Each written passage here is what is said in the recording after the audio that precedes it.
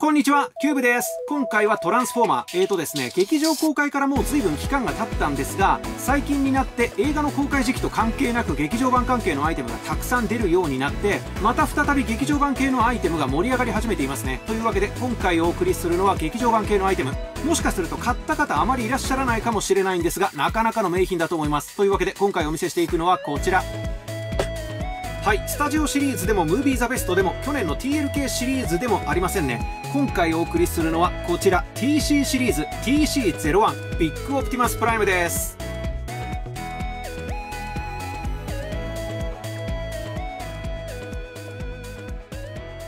はい今回の TC ビッグオプティマスプライムがどういったアイテムなのかというとですねこちらをレビューした時のこと覚えていらっしゃるでしょうか？まあこちら見ていただいてお分かりの通りハウンドなんですが、TLK シリーズのハウンドではなく、こちらはですね、海外版のターボチェンジャーというシリーズのハウンドになります。スピード簡単変形みたいな感じのニュアンスのアイテムは去年 TLK シリーズのナンバーに混じる形で国内版もいくつも出たんですが、こちらはですね、その当時はまだ国内で出ていなかったワンサイズ大きい簡単変形ものですね。中でもこのハウンドは非常によくできていたので、海外版なんですがこれ単品でレビューして動画を出しました。その時の動画気になるという方は上のカードや下の動画説明欄にリンクを貼っておきますのでそちらからご覧ください。で、もうお分かりだと思うんですが、今回のこのオプティマスはですね、このシリーズ、当時はこれはもう完全に日本だとスルーになるシリーズなのかなと思われていた、このワンサイズ大きい簡単変形シリーズのオプティマスということになりますね。ただですね、今回のこのオプティマスは、これまで出てきた TLK シリーズと一点大きく違っているところがあります。何かというと、TLK シリーズって大体海外版と同じ仕様のままか、ほとんど同じ仕様で出たんですけど、この少し大きい簡単変形シリーズはですね、海外版に対して大きく手が入って、塗装や成形色なんかも全然変わって、国内版ははるかに劇中に近い姿に改善されて発売されました。このアイテムの元になったオプティマスを見たことがあるっていう方はもう一目でお分かりだと思いますけど、ビークルモードのリアリティ全然引き上がってますね。まずそもそも成形色からしてちょっと違っていますし、この車体の下半分あたりに関する色の再現度は、海外版とはもう比較にならないぐらいこっちの方がリアルになっています。そして海外版だとロボットモードで梱包されている感じだったんですが、国内版ではビークルモードでの梱包に改められていますね。というか、国内版用に完全に新規に作られているパッケージにもかかわらず、こういう完全開放型っていうのは結構珍しいですね。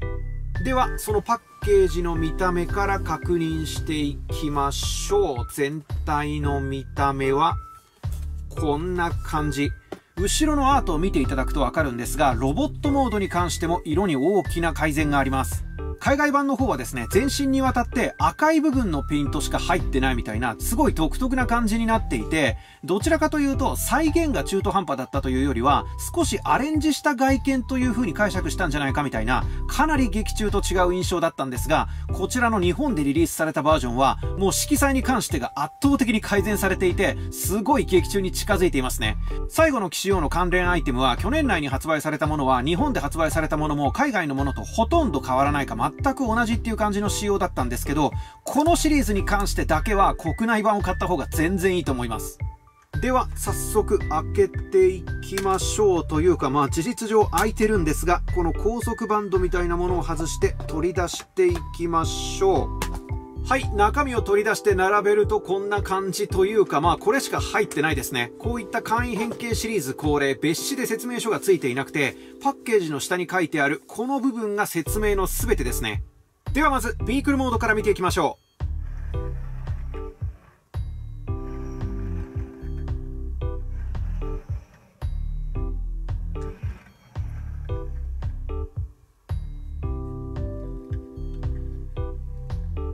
はい、ビークルモードの見た目ご覧になっていかがでしょうか？簡易変形ものとは思えないぐらいの非常に再現度の高いビークルモードですね。まあ、後ろ側を見てみたりすると、ちょっと足の形がそのまま残っているというか、この辺りにつま先が処理されずに残っていたりするのはご愛嬌といった感じではあるんですが、さっきちらっとお見せしたこちらのハウンドを並べてみるとわかるんですが、このハウンドはですね、そこそこリアリティを保っているとは言っても、やはり簡易変形ということで、少し全体の細かいシルエットなんかがアレンジされてシンプルめになっているんですが、こちらのオプティマスはですね、ご覧ください。もう完全にいろんな三次局面みたいなところが全く省略されてなくて、本当にもう簡単変形じゃないシリーズのオプティマスみたいな綺麗なウエスタンスタートラクターキャブですね。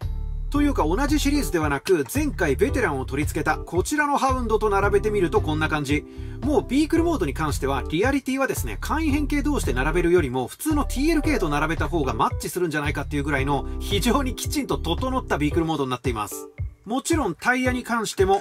6輪すべてダミーではなく独立して回転するようになっていてスムーズにコロ走行させることができるようになっています。ホイールの部分にちゃんと銀の色が入っていてリアルなタイヤになっていますね。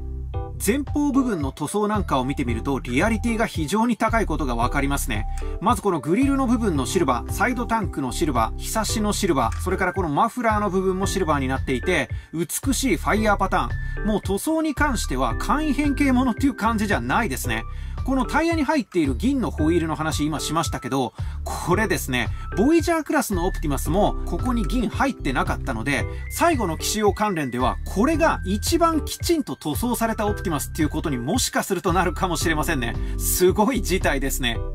さて、それではロボットモードへ変形させていくことにしましょう。こちらのオプティマスはですね、ビークルモードは確かに非常にリアルな形状なんですが、あくまでもターボチェンジャー、簡易変形ものということで、非常に少ないステップ数でロボットモードになります。ロボットモードの形も思ったよりこんな少ない手数で変形しているのに、こんなにきちんとロボットなのかっていうぐらい、ちゃんとオプティマスですね。ステップ数が少ないので、このまま話しながらやっていきたいと思います。まず最初にこのキャビンの後ろ側、ここがちょっと開いているんですが、ここに指をかけて、この部分、この部分にあるピンを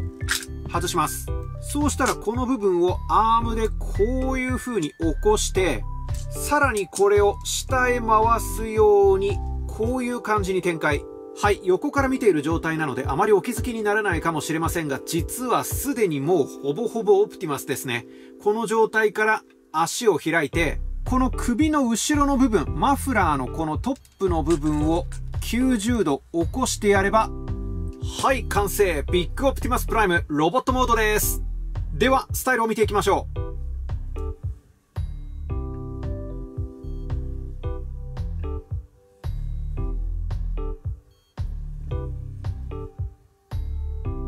う。いかがでしょうか？一体あのトラックからいつの間にオプティマスになったのっていう風に変形プロセスを全部お見せしてもわからなかった方いらっしゃるんじゃないかと思いますが、そこをわかりやすくするために同じプロセスを今度は上から見た状態でやってみましょう。はい、これがまずビークルモードですね。この状態で先ほどお見せした通り、このピンを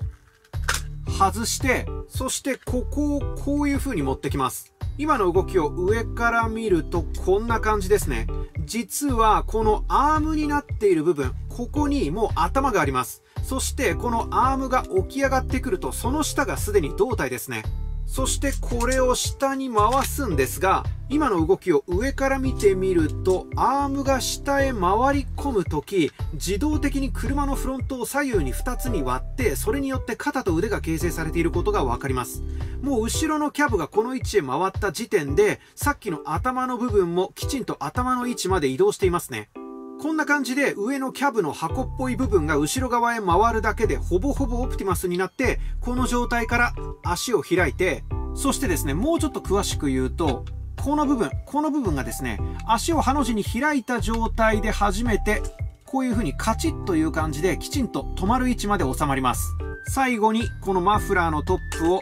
90度起こしてやればはい、オプティマスプライムが完成しました。ご覧ください。さっきのキャブからわずか4ステップで変形したとは思えないぐらい、形状再現度のかなり高いオプティマスですね。ロボットモードでもさっきのハウンドを出してみるとよくわかるんですが、こちらのハウンドはですね、まあ確かにそこそこ再現度に気を使ってはあるんですけど、お腹の部分がこういう風に四角く割り切られていたり、肩の外側がこういう風に四角くなっていたりと、まあ簡易変形ということで、少し面取りがシンプルにアレンジされた感じになっているんですよね。ですが今回のこちらのオプティマスに関してはそういった感じのリアリティをちょっと下げているみたいなアレンジは全然なくて4ステップで変形したとは思えないぐらいきちんとオプティマスですね。さっきのベテランをつけた方の TLK のハウンドと並べてみてもこのぐらいの感じ。パッと見いかがでしょうか？まあ確かによくよく見るとこっちの方が1枚リアリティは上っていう感じではあるんですけどそんなにおかしくないぐらいの形状再現度ですよね。さっきちょっと話に出したこちら TLK シリーズというか、まあ、トイザラス検定のボイジャークラスのオプティマスプライムと並べてみるとこのぐらいの感じ。パッと見いかがでしょうか？形状再現度それほど劣っていないように見えますよね。まあこっちは30ステップ以上かけて変形する感じなので、さすがに細かいところを見比べると1枚上手ではあるんですが、その7分の1以下の簡単ステップで変形しているとは思えないぐらいちゃんとオプティマスですね。これはすごいと思います。というか普通にこの AD とか TLK とかのディティールの入り方に合わせて作られたテメノスソード。これのしかも重塗装になっているやつを手に持たせても全然なんていうか武器に負けてないですね。元からこれに持たせる用としてついてきたかのようなマッチ感があります。確かにまあ背中の方から見てみるとですね、この辺りに丸ごとキャブが残っているような感じもあるんですが、それでもこういう風に横から見てみると、それほど大きく後ろに側が残ってしまっているという感じもないですね。何しろ AD シリーズのリーダークラスのアーマーナイトとか背中こういう感じですからね、それに比べればむしろこっちの方がコンパクトなんじゃないかっていうぐらいですね。ただですね、変形のプロセスに関してちょっとだけ補足しないといけない点がありますね。何かというと、このパッケージの裏のこの解説が全ての説明だというふうに言ったんですが、この説明ではですね、一番最後にやった、このマフラーの先端を90度起こすというこのギミック、これに関する説明がありません。この部分の説明の絵にも、それからこっちのロボットモードの写真に関しても、全くこの部分を起こすということに関しては触れられていませんね。というかこの大きい方の写真はですね、マフラー起きてないだけじゃなくて、足もハの字に開いていないので、かなりなんというか、いい加減変形というか、日本版専用のパッケージとしてはちょっと珍しい写真ですね。足はまあ、ハの字に開いていない状態でも一応ロボットモードという風に見ることはできるんですが、先ほどお見せした通り、このキャブがきちんと位置が固定されてカチッというまではまり込むためには、足がハの字に開いていないとそうならないので、足がハの字に開いていない状態で完成という風にはならないんじゃないかと思います。あとこのマフラーの上を起こすところに関してもですね、最初は自動で変形と連動してこれが動くから書いてないのかなと思ったんですけど、どういう風にいじってみても、この部分が連動で動くっていう感じはどうもなさそうですね。ここは手でこういう風に追加で動かしてやらないと動かないと思うので、ここに関して写真も説明も全くないっていうのは、ちょっとケアレスミスだったかもしれませんね。顔のアップです。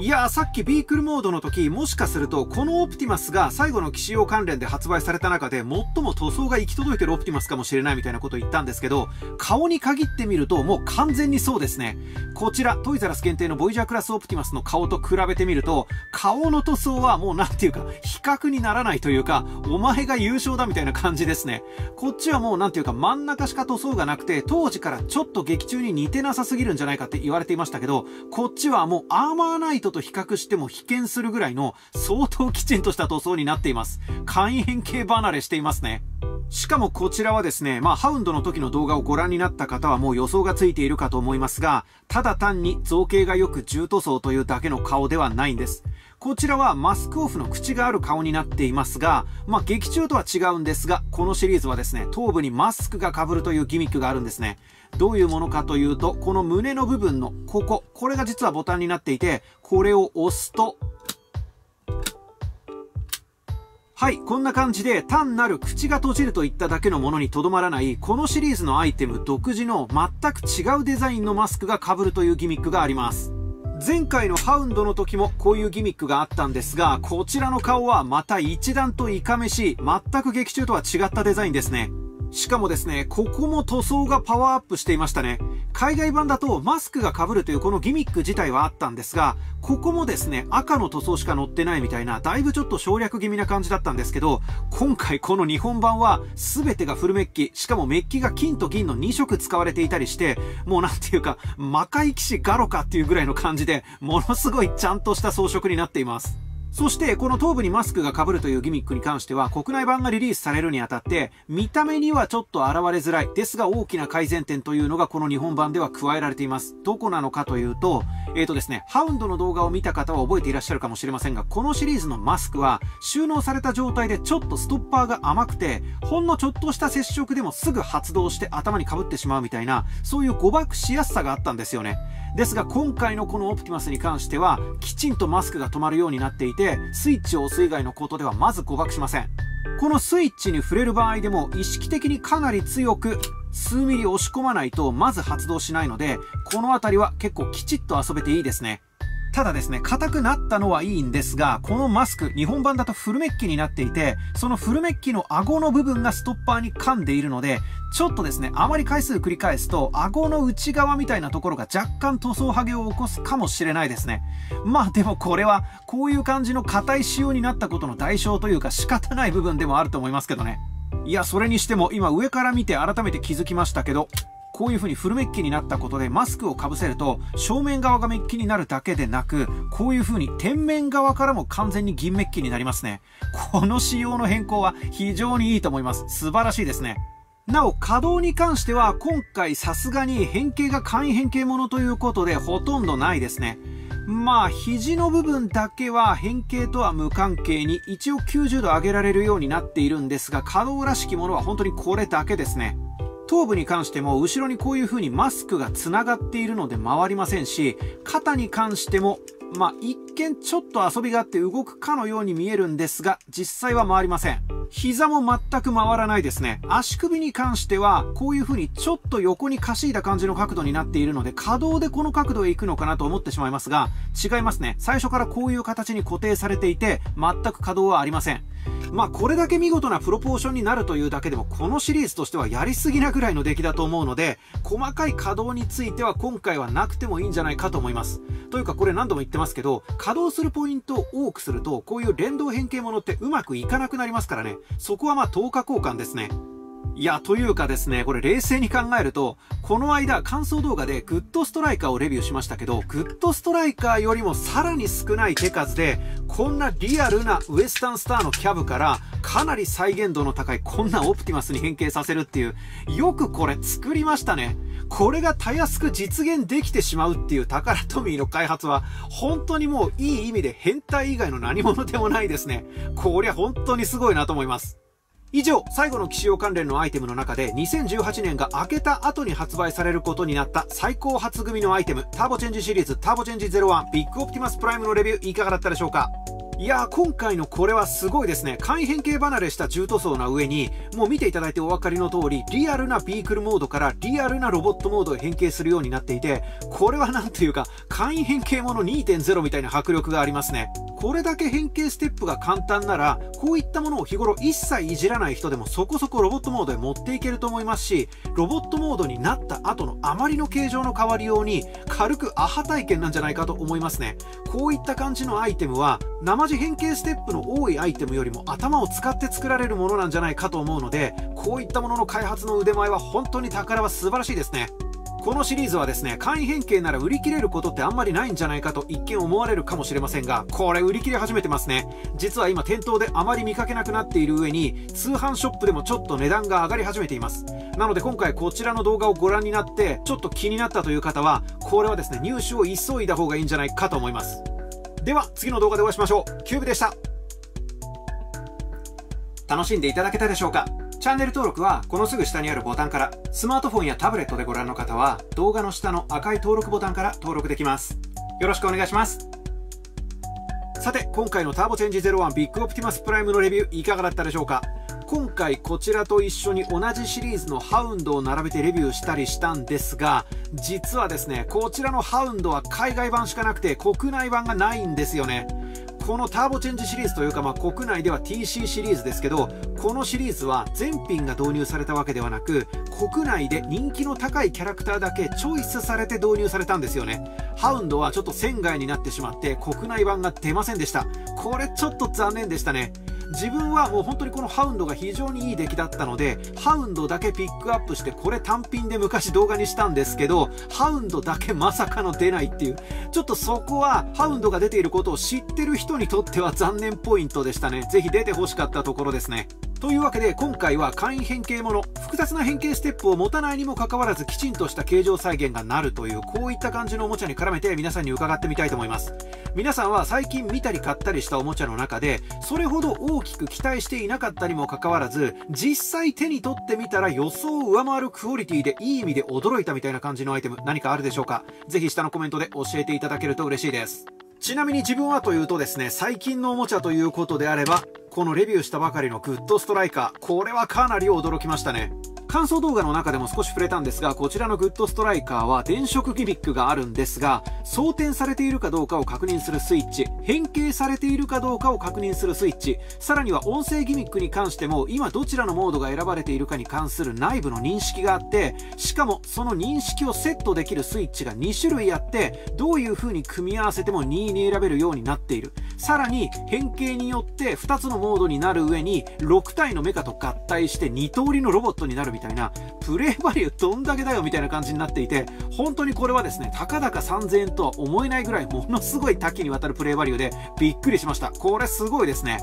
一方でこちらのオプティマスに関しては今回の質問に該当するかというと該当しないですね。というのはこの姿やギミックがすごくないという意味ではなく自分はこのオプティマスがすごいということを事前に分かっていて期待して買ったので期待を上回ったという感じではあんまりないんですよね。簡易変形ものってあまり興味強く持たれていないっていう方多いんじゃないかと思いますけどトランスフォーマー系の簡易変形ものはですね本当に実際いじってみるとあっと驚くギミックを持っているものたくさんあるんで食わず嫌いせずににいくつか手に取ってみるといいんじゃないかと思いますね。